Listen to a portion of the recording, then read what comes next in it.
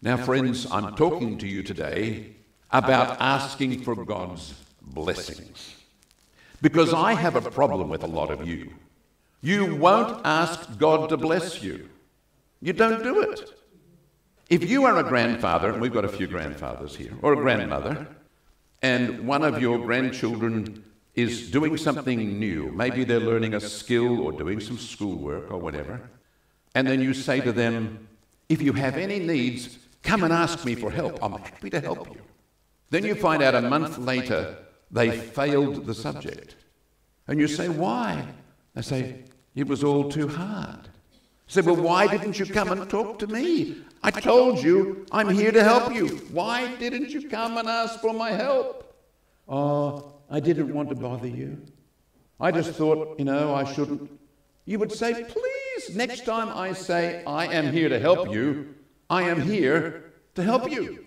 Or what if your family are moving house or something and you say, once you're in the new house, I'll come across and help empty boxes and put things in all the right places. And they say, Oh, thank you. But they don't call you. And then you find out a week later that they were collapsed in bed for two days after working through till five o'clock in the morning trying to get it done. How would you feel? You'd feel a little bit disrespected. You'd feel a bit unloved. Don't you trust me? I said I would help you. Why didn't you ask for my help? I didn't want to bother you. That's what some of you people are like. God says, I will help you. Call on me. Thanks. And you never do. Just a little polite question. What is wrong with you people? Why can't you come to God and ask for His help? So I'm talking to you today about asking for God's blessings. Jesus said to his disciples before he went up to heaven, He said, Until now, you've never asked for anything in my name. And he says, Ask and you will receive, and your joy will be complete. Don't you find it pretty good when the thing you need actually turns up? And you feel pretty good about that? Jesus saying, Ask and you will receive. He also taught his disciples, Ask and it will be given you. Seek and you will find. Knock and it will be opened to you. Now, the people who study Bible languages, they say that those words Ask, seek, and knock are present tense continuous. It means ask and keep on asking, seek and keep on seeking, knock and keep on knocking. So Jesus is strongly encouraging us not to be afraid to ask. Ask, seek, and knock. Now, last week, we talked about Elijah and Elisha. Elijah was a prophet of God and Elisha was his assistant. And there came the day when Elijah was going to go up to heaven. And Elisha knew that it was going to happen, and he stuck very close to Elijah. And when Elijah said to him in the end, he said, What do you want? Why are you hanging around like a bad smell? He said, I want a double portion of your anointing, the power that's on you. And Elijah said to him, That's a pretty tough thing that you've asked for, but if you see me get taken up to heaven, you can have it. So Elisha stayed really close to Elijah. And we know that what happened was a flaming chariot of fire came and separated them, and then Elijah was taken up to heaven. And his cape, his mantle, fell to the ground. And Elisha picked it up and went back to the river Jordan, slapped the water, and the water opened up. He now had the power and authority that was on Elijah. What was significant about Elisha was he was greedy. He wanted something from God. And God was not angry with him.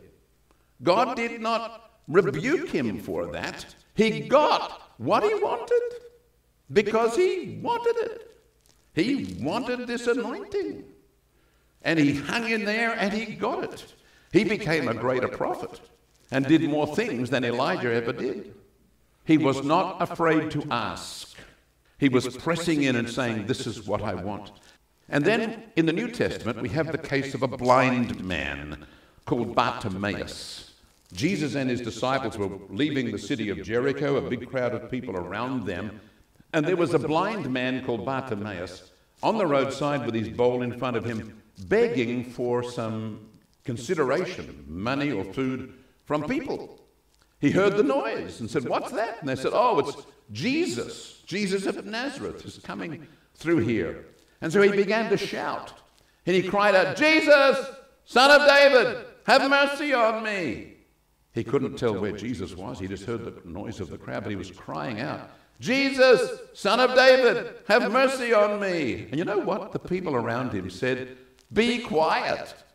Don't you find sometimes when you say, I'm going to start pressing into God, I'm praying and I'm reading my Bible and, and I'm going to start going to church, people say, What do you want to do that for? They don't encourage you often. They even try and stop you.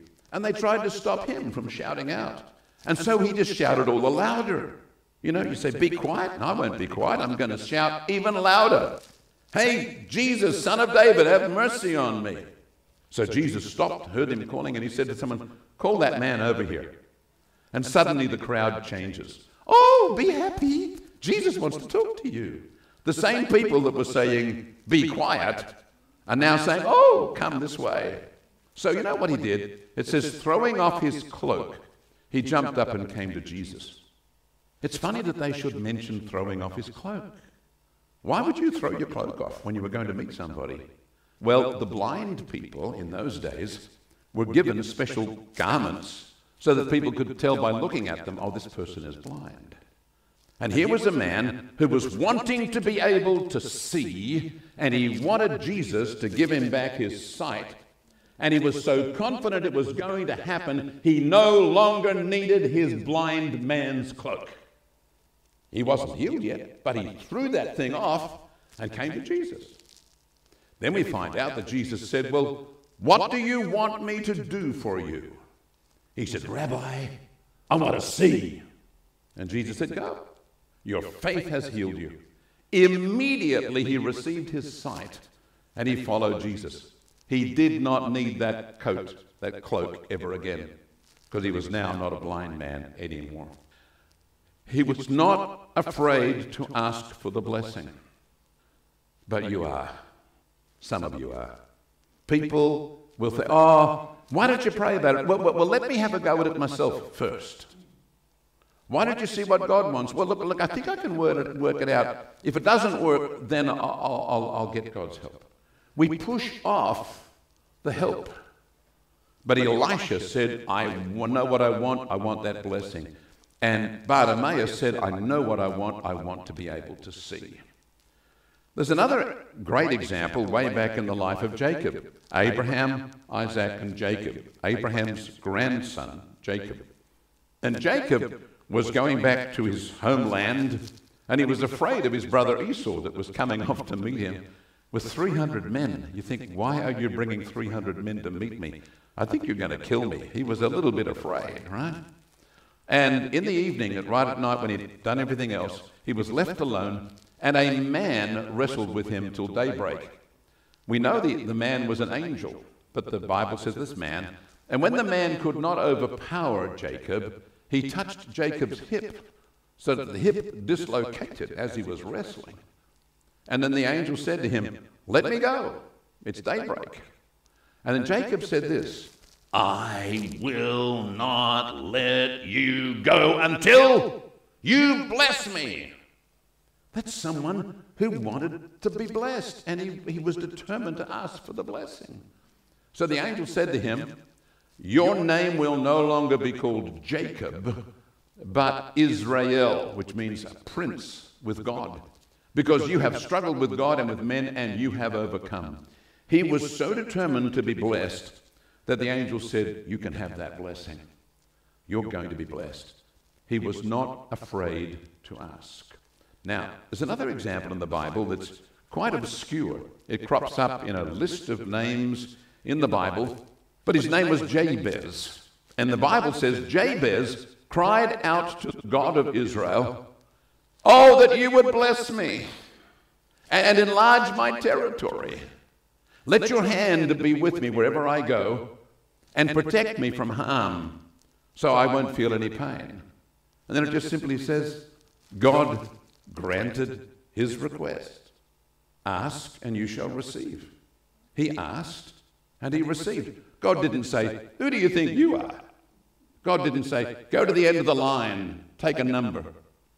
God didn't say, Well, I want you to jump up and down and uh, open three orphanages. He didn't make any, he just simply said, You can have what you asked for. So here's the example Elisha got what he asked for, blind Bartimaeus got what he asked for. Jacob got what he asked for, and Jabez got what he asked for, and none of them ever got in trouble for asking.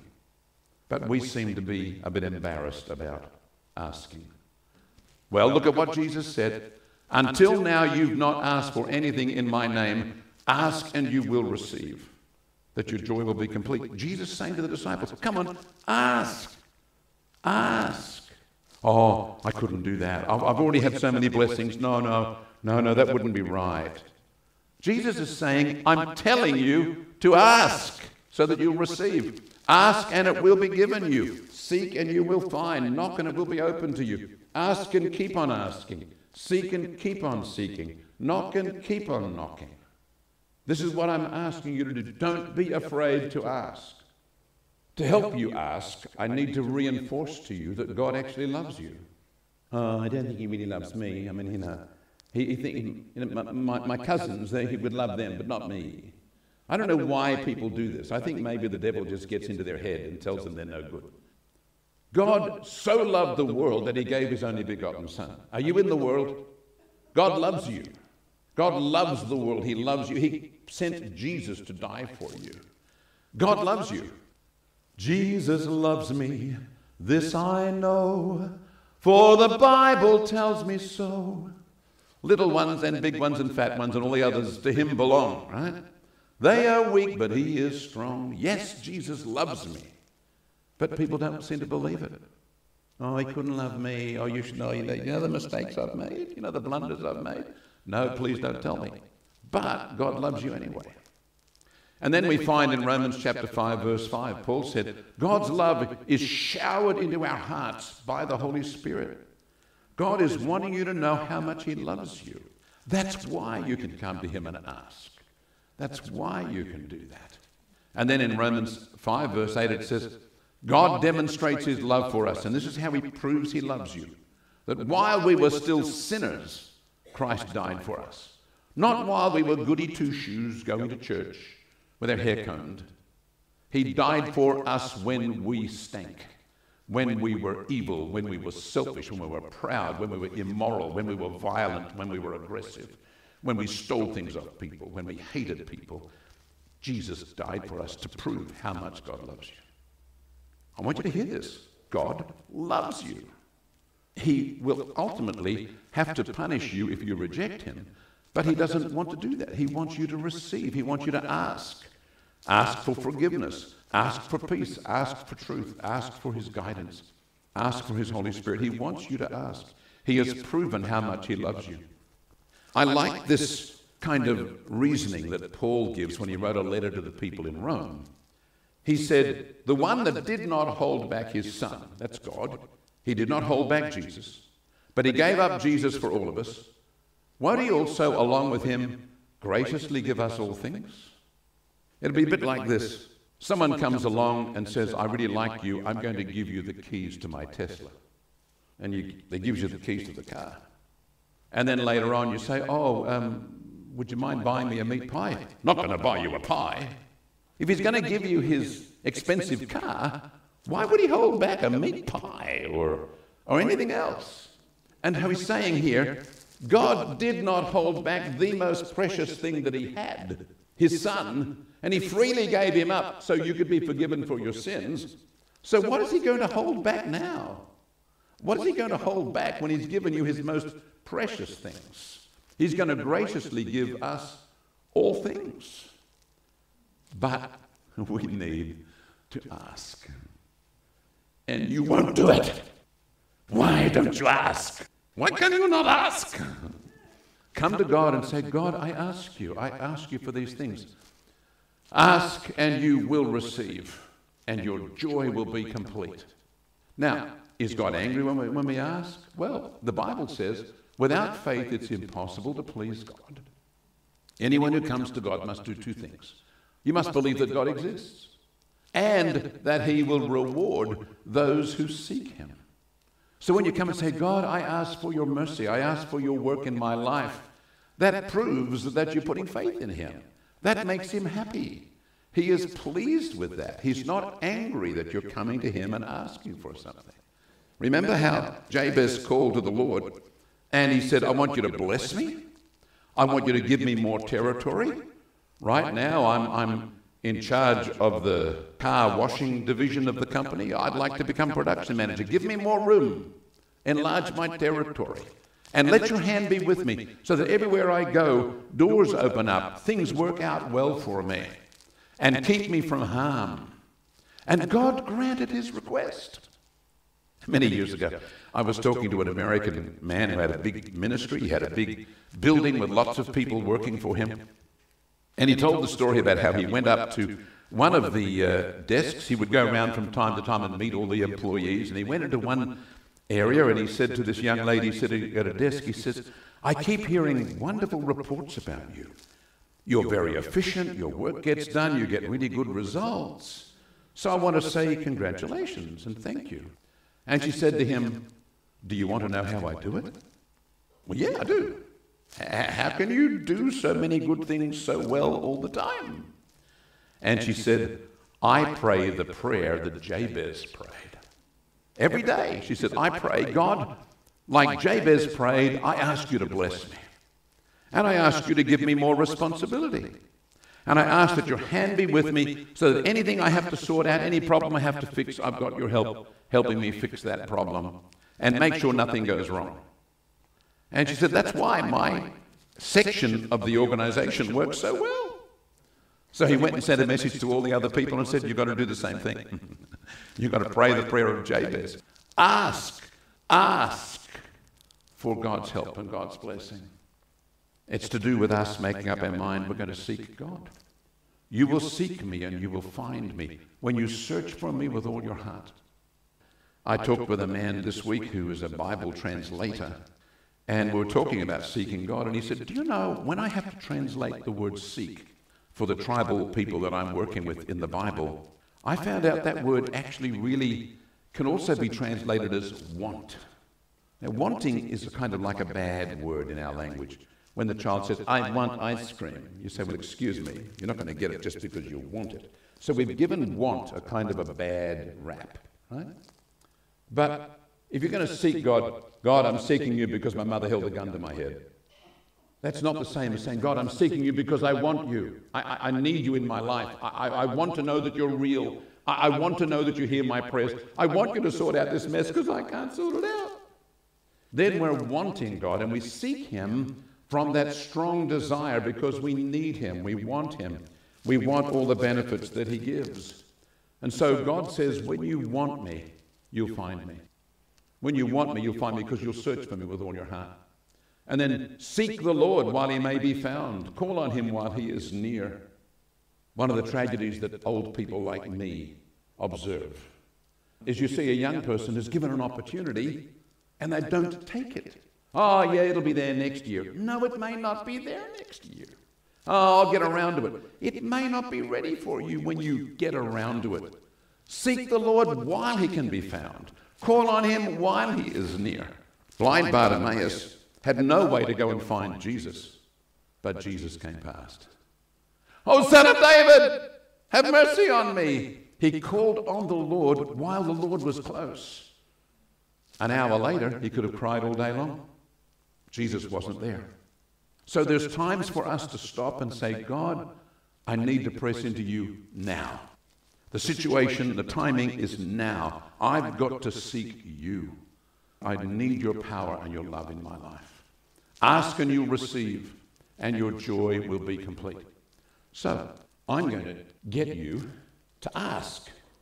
Just put your hands out as if you're going to receive something in your arms. And just say, Lord, I ask you to bless me. You reckon you could do that? Actually, ask. Lord, I ask you to bless me. Let's do that all together. Lord, I ask you to bless me. You see, Jabez said, Bless me, Lord. And God said, Okay. Jacob said, I want a blessing. He said, Okay. So ask, Lord, I need your blessing. I'd like to suggest that every morning when you get up, you say, God, I need you to be with me today. Be with me today. Bless me today.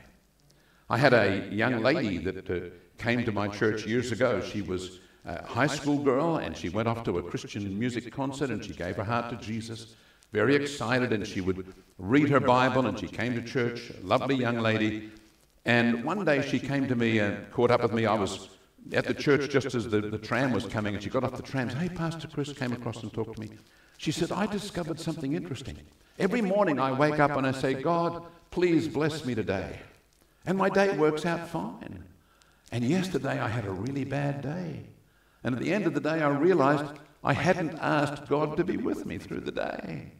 So today I did. It was a much better day today. Just make the habit of saying, God, I ask you to be with me. I ask you to bless me today. Now, this is the prayer that Jabez prayed Lord, truly bless me, expand my territory, be with me all the time, and protect me from evil. That's the prayer that young lady in America prayed that made her department and the, the ministry so successful. So why don't we pray that prayer? You might like to just put your hands out. We're going to pray this prayer. Lord, truly bless me. Expand my territory. Be with me all the time. Protect me from evil. That's the prayer of Jabez. Now, there are people in this church that would like to make sure this church gets blessed. They know that I'm leaving, and that's very sad. It really is. And just the way it's going to be, and people have to work through how that's going to be. But God is in control, and God loves this church. So we should be able to pray, Lord, bless this church. Give us a wonderful future and hope. Let's do that together. Lord, bless this church. Give us a wonderful future and a hope. Let's expect that that's exactly how God's going to do it. Praise God. Now, You've got family and loved ones. And amongst them, you've got some people that are probably a bit stupid or a bit irresponsible or a bit thoughtless or got themselves into some kind of mess or other. And you want to keep them safe. But you also want to make sure that they know God and know His love and His power. So this would be the prayer that I would pray Lord, bless my family and loved ones, keep them safe, and bring them to know and love you. So let's do that together then. Lord, bless my family and loved ones. Keep them safe and bring them to know and love you. You see what you're doing now? You're asking. You're asking. The thing that you often don't feel like you could or should do. Learning how to ask and ask and keep on asking.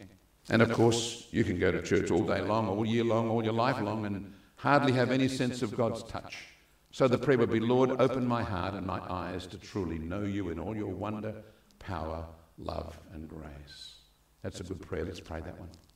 Lord, open my heart and eyes to truly know you in all your wonder, power, love, and grace.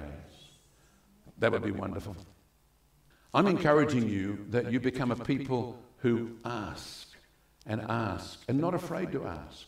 A loving father, a loving grandfather doesn't want to say no. They want to see blessing. They might say no if the child said, Can I have a rattlesnake?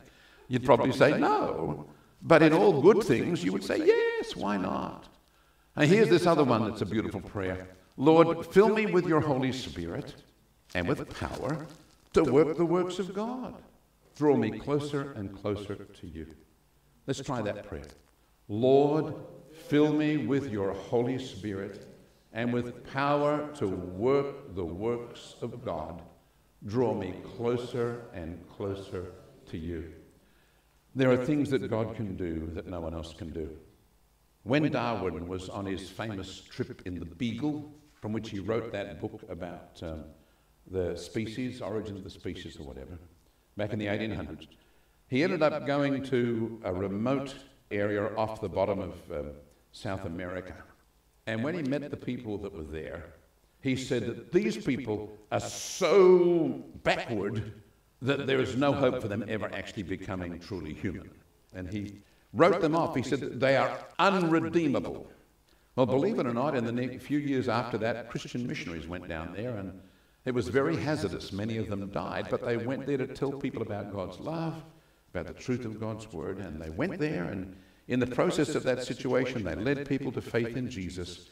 A Christian church was started and the culture began to change. And when Darwin heard about it, he said, This is, this is impossible. And he began then, for the rest of his life, to give money to, a, to the missionary society that had sent the missionaries there. Obviously, there is something stronger in this world than what man can do. So, in your situations, you're going to face situations sometimes that will be really difficult, and there will be no way out. So, think of the song that Nicole led us in earlier God will make a way where there seems to be no way. There's no human road, but God can make a way right through the ocean. God can open up a way when no one else would be able to do it. So be ready to ask. Call upon the name of the Lord. He who calls upon the name of the Lord will be saved. We live in a ridiculous world at the moment. We have tides of evil that seem to be rising. And we find that things that were, that were simple to solve 20, 30, 50 years ago are so much more complicated now. People are almost being deliberately confused about right and wrong, good and bad. Just the dumbest things are being done. We caught up with someone this past week who shared with us how that his young daughter going to high school was convinced that she was a boy.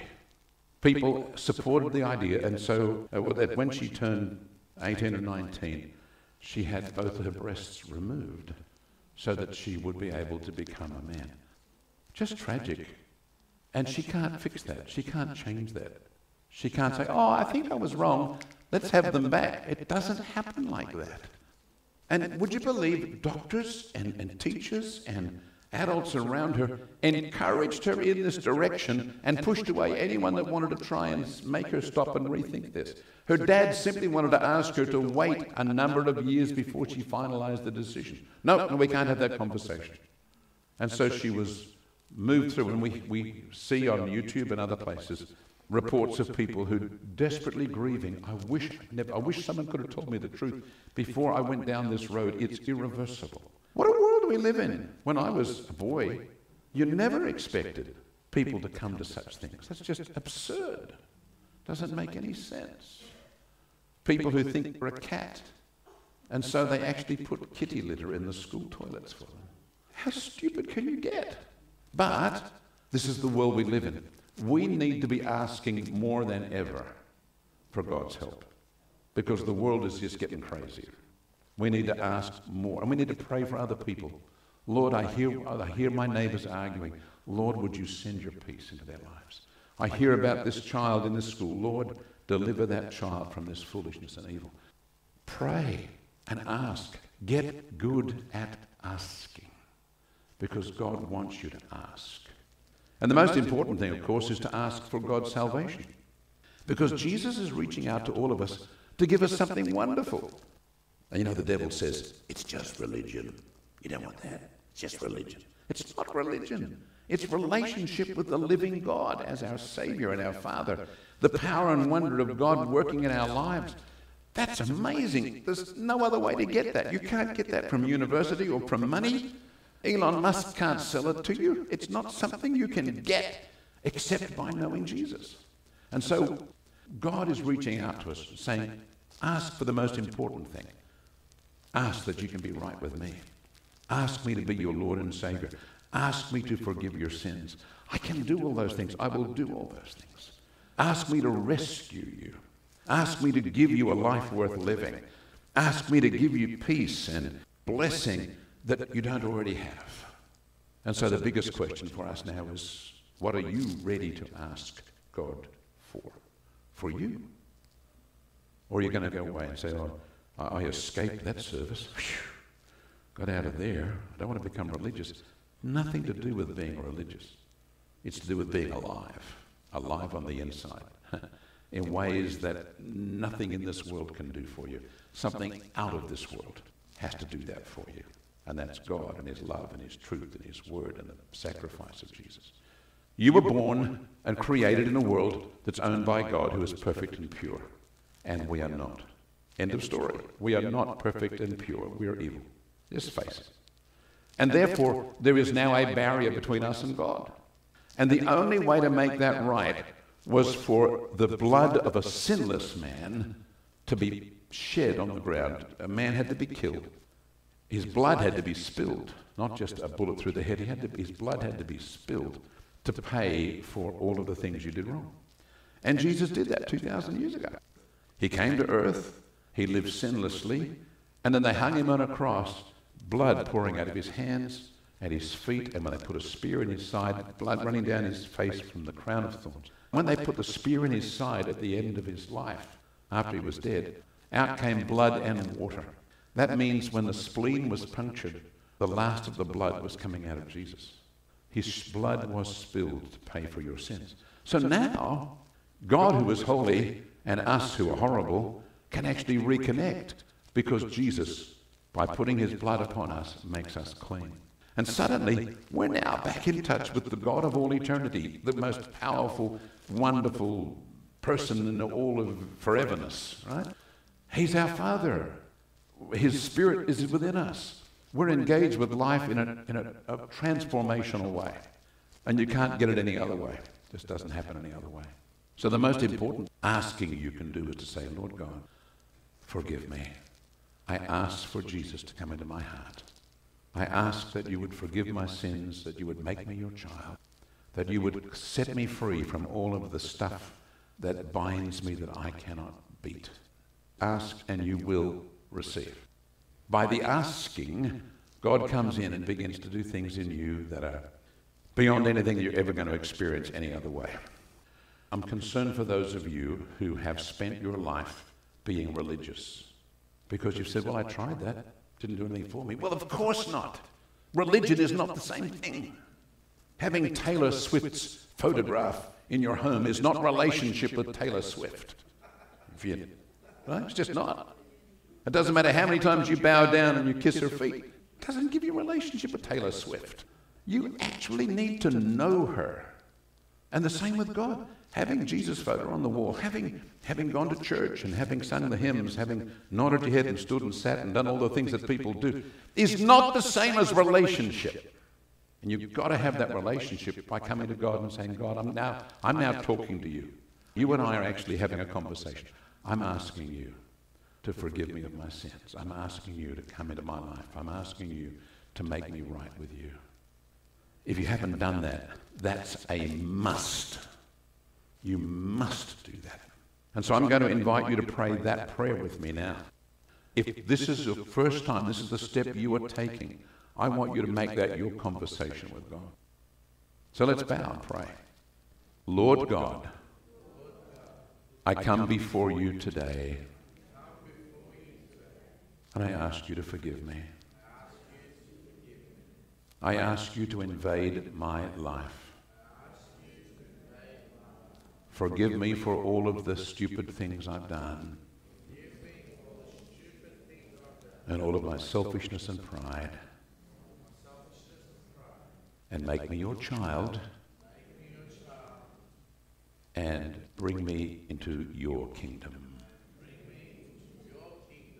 In Jesus' name. Amen. Ask and you shall receive.